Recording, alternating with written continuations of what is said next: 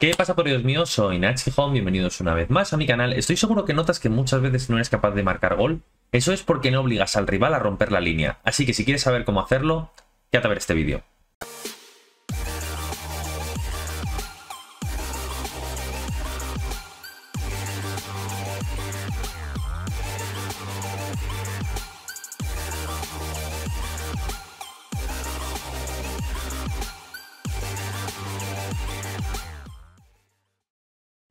Antes de nada, deciros que si queréis estar enterado de todo antes que nadie, os recomiendo que me sigáis en mis redes sociales y si quieres que yo personalmente te ayude a mejorar al FIFA porque no sabes por qué no logras cierto rango, porque no disfrutas del juego, porque en definitiva quieres ser mejor jugador de la Fútbol 25, pues puedes ir a mi web para informarte de las asesorías o del curso que también está en la descripción de este vídeo. Bien, esto que os voy a explicar hoy surge a raíz de que estaba dando una clase a un alumno hoy y esto es algo que yo aplico mucho en mis partidos y hoy pues justamente surgió esto en la clase que es obligar al rival a romper la línea, ¿vale? Esto es clave, este concepto. ¿Por qué? Porque mirad, en el FIFA, mira, quiero que, quiero que penséis una cosa. ¿Cuántas veces habéis estado jugando partidos de FIFA y el rival os marca gol porque vosotros os descolocáis? Un montón, ¿vale? ¿Vale? O sea, es decir, seguro que sí, a mí me ocurrió también. Es decir, el rival, y esto es clave, os ha marcado goles, hay rivales que os han marcado goles simplemente por esperar a que vosotros fallaseis. ¿Vale? Esto muchas veces ha pasado de que ha ido corriendo, habéis fallado, habéis sacado al jugador de línea y decís, joder, o de posición, en plan de, he llevado el 5 aquí, me han filtrado un pase, me han metido gol, qué tonto me siento. Bien, nosotros lo que tenemos que lograr es conseguir esta misma sensación que es odiosa cuando la tenemos en nuestras carnes, obligársela o vamos a dejarla en llevar al rival a que la provoque, a que entre en ese estado de locura, porque es un estado, ¿vale? Es decir, para obligar al rival a fallar puede pasar por dos situaciones, ¿vale? Que yo definiría eh, muy claramente. Uno, el... Porque aquí habría que diferenciar varios tipos de rivales, pero vamos a decir las situaciones más típicas. El rival comete un error tonto, lo aprovechamos y ya está, ¿vale? Bueno, y lo aprovechamos, ¿vale? Bien. la cosa es que aquí hay que tener en cuenta una cosa. Estamos jugando contra seres humanos, no contra robots. Entonces, lo que... ¿Cuántas veces habéis estado jugando y habéis entrado en... El rival no se, no se está haciendo estar cómodos. Empezáis a fallar pases. Eh, empezáis a atacar como putos chiflados el rival tiene más la pelota. Entonces vosotros queréis recuperar la pelota antes. Empecéis a salir, ¿vale? Entonces, la cosa es... Eh, creo que sería el segundo punto. Deberíamos hacer entrar, entrar al rival en un estado... Creo que suena mal decir esto, pero de angustia. ¿Vale? O, o ansiedad. ¿Vale? Es decir, esto suena, a ver, suena, es competición al final, todo esto tienes que aplicarlo de la manera que quieras. Haciendo, a ver, con esto tampoco quiero incentivar a que la gente empiece a perder tiempo como putos sicarios, ¿vale? Es decir, lo que quiero es que entendáis una cosa. y que debemos hacer entrar en el rival en un estado de angustia y ansiedad, pero teniendo en cuenta es... Y preguntándonos qué es lo que a un rival no le hace estar cómodo. ¿Vale? Esto aquí tendríamos... Entonces, Pensad en qué es lo que nos hace estar cómodos a vosotros. Generalmente hay varios factores. Primero, eh, no tener la pelota. Es decir, no tener la pelota en el FIFA suele ser bastante angustioso. ¿Vale? Es decir, ¿por qué? Porque ves que no llegas. Que aunque llegues, es decir, al no tener la pelota, el problema es que la pelota te da calma. ¿Vale? Entonces, cuando no tienes la pelota, tiendes, aunque tengas oportunidades, tiendes a eh, jugar mucho más directo. Es decir, hacer contras, transiciones muy rápidas. Que esto, y esta es la clave, este estado se traslada a la defensa. Es decir, generalmente hay como varias fases, ¿vale? Del, de, este, de este estado de angustia y ansiedad del rival, ¿vale? Primero, se suelen mantener bastante rocosos. Pero al principio hacen jugadas Intenta mantener la calma.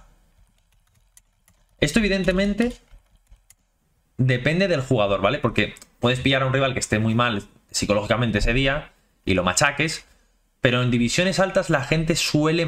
Cuanto más arriba esté el tío, por mi experiencia, más es capaz de mantener el plan de juego y no chiflar hasta los últimos minutos. Es decir, de hecho cuando jugamos luego el partido a ver qué sale, pero en las divisiones que me muevo es raro que alguien pierda los papeles aunque vaya muy mal el tema.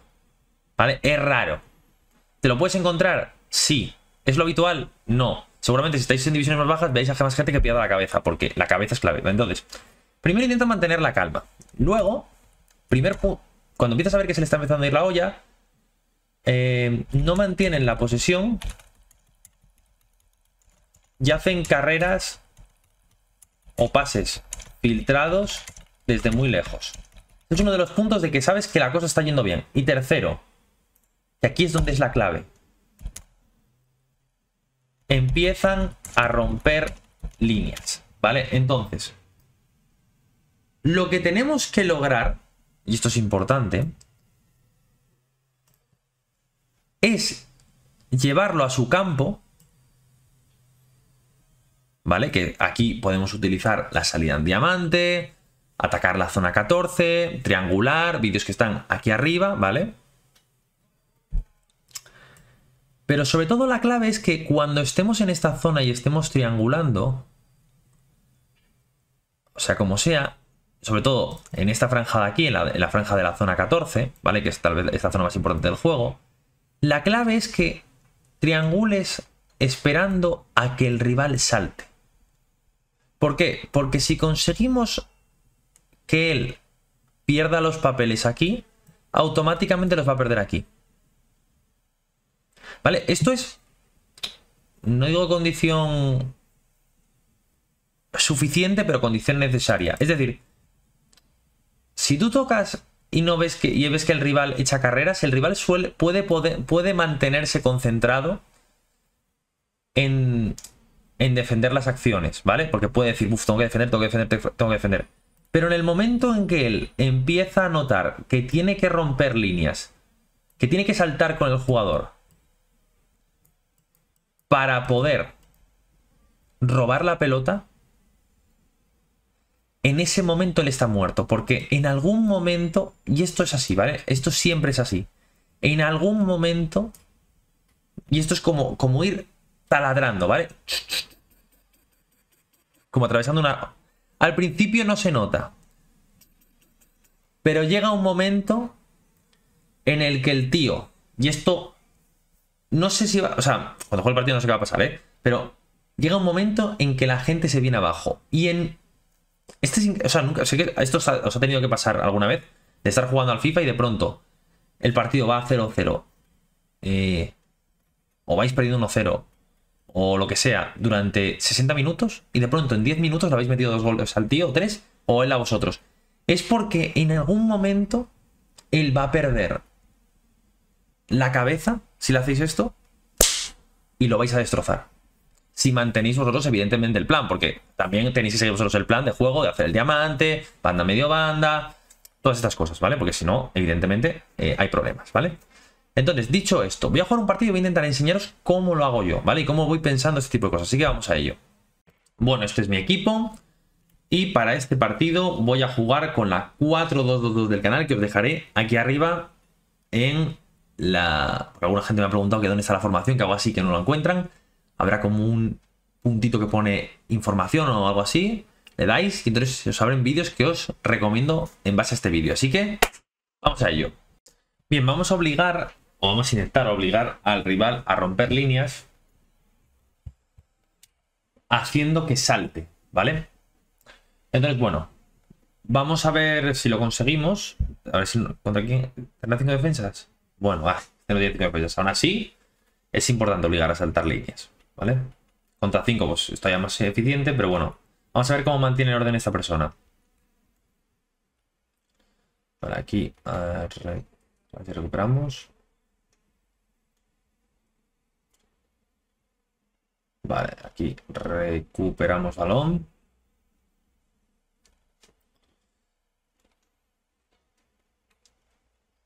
Ya pasamos a Griezmann, vale, tocamos.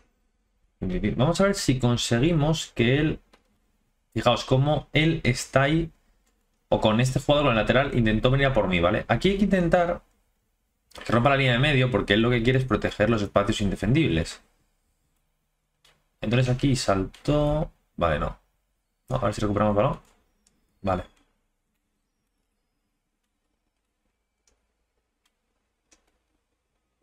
Ay, bueno, estuvo bien, estuvo bien. Le obligamos a salir, ¿eh? Fíjate, si le obligamos a salir. Vale, aquí tocamos. Vale, recuperamos. A ver si podemos mantener la pelota. Perfecto.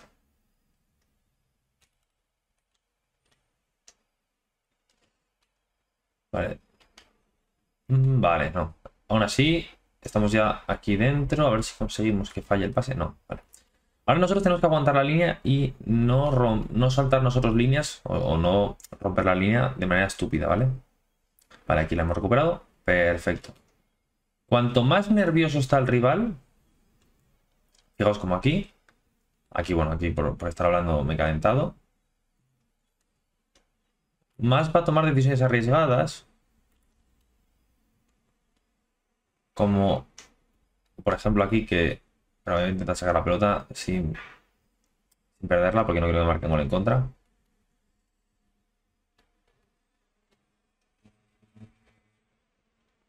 Vale. Cuanto más nervioso esté, más va a romper líneas. Entonces, tenemos que intentar forzar, tenemos que forzarle el que él sea el que tome la primera decisión de entrar para que cada vez esté más inseguro, y tome decisiones arriesgadas. Vale.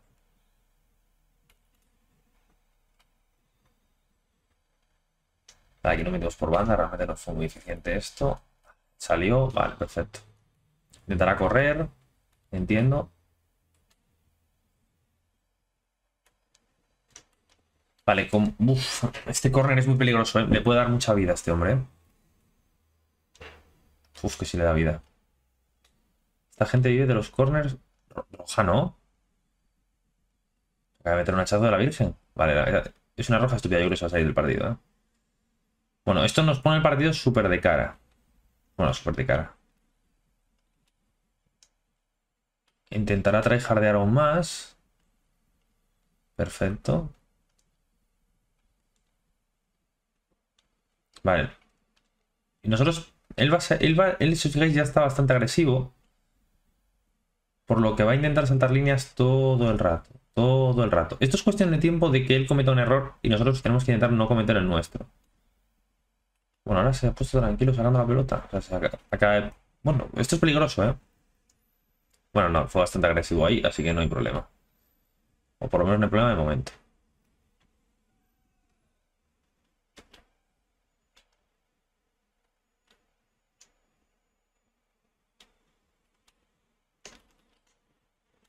Uy, casi le forzamos la falta, ¿eh? Vale, esto es una cuestión de, desgaste y de tiempo, ¿eh? Que él en alguna termine ya rompiendo totalmente la línea y favoreciendo que metamos gol. Va a intentar centrar, entiendo. Mira, vamos a dejar fuera de juego, o sea que ya directamente no hay problema. Y nosotros seguimos haciendo nuestro juego, ¿vale?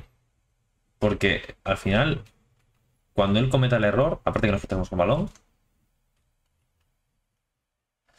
tenemos nuestra oportunidad. Vale, aquí, vamos a ver aquí. tocamos, hacemos que salga otra vez. Vuelva a salir. Demasiado cerca, o sea, demasiado lejos. Vale, él va a volver a contragolpear. Volvemos a recuperar. Fijaos que esto nos, o sea, el tener el balón y obligarla a romper la línea, no solo tiene que ver un segundo, que no la pierdo. Con... ¿Cómo decirlo? Con meter nosotros más goles, sino con también que nos marquen menos. ¿Por qué? Porque cuanto más nervioso esté el rival, más errores va a cometer en defensa, en construcción, en salida, en ataque. Los ataques, si os fijáis, cada vez los ataques son más, más locos, más directos. Que nos puede marcar gol, ¿eh? Porque, te puede marcar gol cualquier tío aquí en el FIFA. Pero ya este tipo de ataques en este FIFA... Ostras. Fijaos, el pase hacia atrás y me hacia adelante. Terrible esto. Va a centrar el balón otra vez. Nosotros tenemos que intentar que tenemos que defenderlo, ¿vale? Es decir, lo que no podemos es impacientarnos y empezar a correr nosotros porque él nos haga ahí algún par de ataques rápidos. Vale, tenemos ahí a Musiala. Creo que lo va a cortar. Sí. Está bastante cómodo, está bastante cerradito. Un ataque es muy bueno. Nada, esto no está. No, no, no, ¿qué cojones pasa? Vale, bueno, vamos 0-0. Realmente podríamos ir, yo creo que ganando, sin ningún tipo de problema. Pero al final un partido en FIFA no es el... No es un sprint, hombre, si le hubiera metido dos goles en el primer minuto, pues me hubiera encantado. Pero no es lo que está sucediendo. No, es este tipo de partido. Y aquí hay que mantener la calma, ¿eh? porque él ya está perdiendo.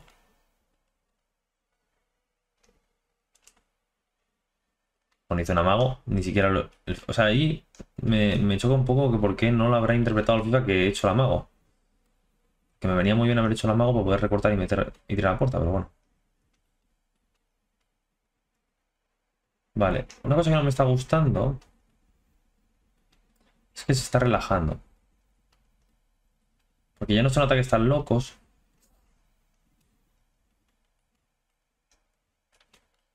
Juego, ¿no?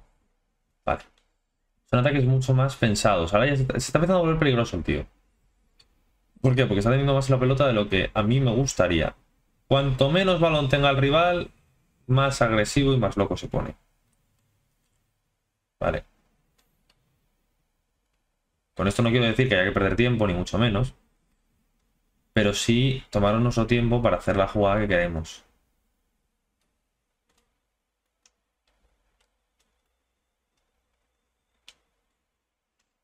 Vale, a ver si aquí se, vale, se calienta. Aquí, fijaos ya... Uh, mierda.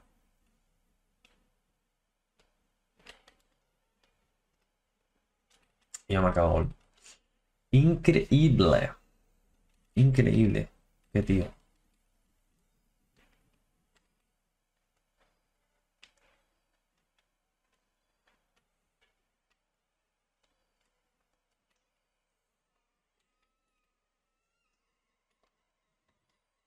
Para el juego, vale. El que viene está aguantando el tío, eh.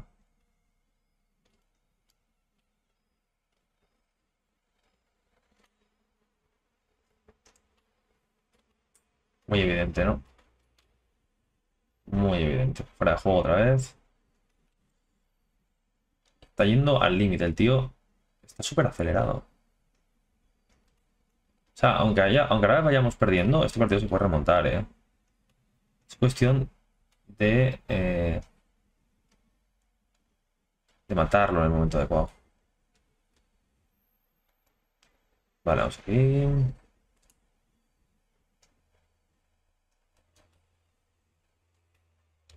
Vale, tocamos. A ver si vamos a romper líneas. Porque está aguantando como un puto titán el tío, ¿eh? O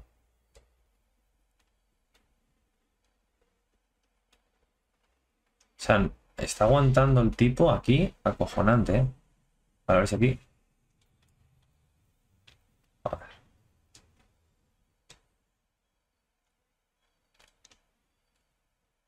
Vaya para dónde va Andersara. y encima se, la que se queda agarrada, ¿eh?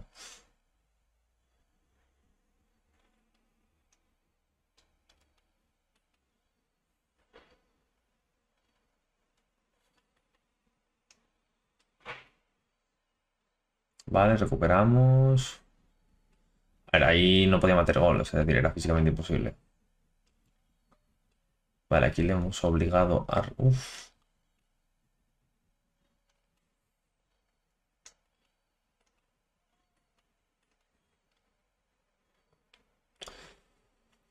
Pues nada, estamos... Está súper cerradito, ¿eh?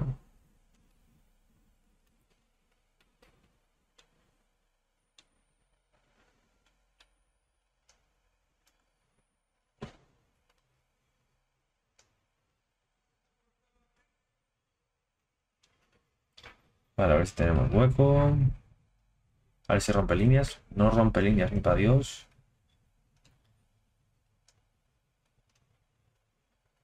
¿Y otro para dónde? Edwin, Van der Sar.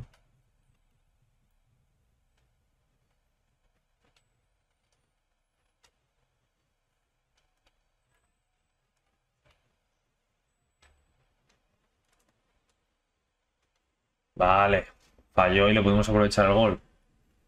Pero vamos, fue más por un tema de temple que de otra cosa, ¿eh? Este tío está aguantando muchísimo la línea. Es decir, es un... O sea, un... O sea, teniendo un expulsado... Está aguantando muchísimo, ¿eh? Vale, ahí aguantamos nosotros. Contemple. Vamos a ver si él está un poquito nervioso o va a mantenerse. Skin. Vale, aquí acaba de romper un poco la línea, pero no nos va a servir porque el pase fue de trivela. A intentar correr, como siempre.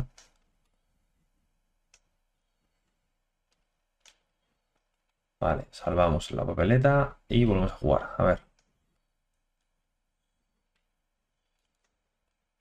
A ver si conseguimos que rompa un poco filas. No, eh, se mantiene. Ah, bueno, aquí se acaba de romper línea, eh. Uf. Y metemos gol. Aquí justo ha sido la clave, que le hemos... O sea, en este último momento el tío ha perdido la cabeza. Y esta es la clave, ¿vale? O sea, justo en el momento en que ha perdido la cabeza, que ha sacado al central de zona, acaba de cometer una locura. Luego hemos tenido suerte que nos hemos llevado el rebote y tal, pero vamos, el pase era, era de gol. Pero el tío acaba de cometer una estupidez porque justo... Bueno, es lo que os decía un poco de que hasta el final... Ahora, ya, ahora sí que va a perder, yo creo que va a empezar... Ahora sí que empieza a saltar las líneas. Y ahora nos acaba de facilitar muchísimo la vida porque es que se acaba de suicidar. En... Esto es increíble cómo, chicos, y esto es una cosa importantísima, cómo en dos minutos de partidos el tío ha aguantado de manera estoica hasta el minuto 75 eh, y del minuto 75 al 84, o sea, en menos de nueve minutos del partido, se ha venido abajo total, se ha venido abajo. Es decir, se ha venido absolutamente abajo. Esto es clave, porque los goles se acaba de salir. Esto, esto quiero que lo veáis porque es importante sea, el rival ha perdido totalmente la cabeza porque aguantó, o sea, que, se puso 1-0 con, con, con, una roja, ¿eh? O sea, que aguantó y del minuto 76 al 85 acaba de perder el partido. Y todo ha sido por jugadas. Esta jugada ha sido por un, por un fallo de pase, que bueno, esta tal vez es la menos relevante. Pero esta, y aquí quiero que lo veáis, vamos a ver si podemos ponerlo en cámara televisión y luego larga. Para que lo veáis. Mira, fijaos cómo el 4, no podemos verlo porque el 4, o sea, el 4 este que está aquí, a la izquierda de Musiala, del que tiene la pelota, ese es el central, ¿vale? En cuanto yo he visto que sacó al central hasta esa zona, me dejó un hueco donde Rodrigo, que puedo aprovechar con un pase, ¿vale? Es decir, aquí es donde ya está muerto la situación. ¿Por qué? Porque el otro central tiene que venir a por mí. Y aquí yo tenía que hacer el pase. Luego la suerte es que, el rebote, porque realmente el pase fue buena idea, y fue gol. Y aquí, en el último gol, fue exactamente lo mismo, ¿vale? A ver si podemos meterlo. Fijaos. Solo queda Rodrigo y Musiala contra dos. Claro. ¿Por qué? Porque al otro central lo sacó de posición hasta casi medio campo. ¿Vale? De hecho es el que está al lado de Griezmann. O que es el que hizo el pase. Claro. ¿Qué va a hacer? Nada. Yo en cuanto le hice aquí el, el speed boost, la finta bien hecha. Aquí ya directamente lo que tengo que hacer es un buen pase para marcar gol. ¿Vale? Pero quiero que veáis cómo es importante intentar mantener la calma y hasta el último momento obligar al rival a romper la línea, ¿vale? A que salte. Porque en cuanto salta y lo aprovechamos, que él mantuvo la cabeza mucho tiempo, lo vacunamos. Por eso es tan importante siempre mantener la línea y obligar al rival a romper la línea. Así que espero que os haya gustado el vídeo y nos vemos en siguientes. Un saludo, podridos míos.